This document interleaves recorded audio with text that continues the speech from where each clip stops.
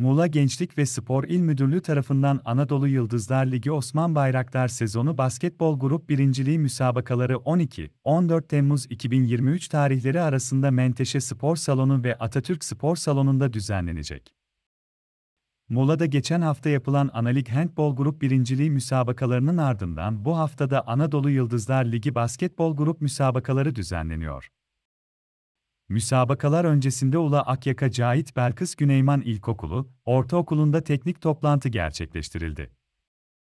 Afyon, Aydın, Bilecek, Denizli, Eskişehir, İzmir, Kütahya, Manisa, Muğla ve Uşak'tan 10 erkek 10 kız takımı olmak üzere toplam 320 sporcunun katılımıyla gerçekleşecek olan turnuvanın açılış seremonisi 12 Temmuz Çarşamba günü saat 10.00'da Menteşe Spor Salonu'nda yapılacak.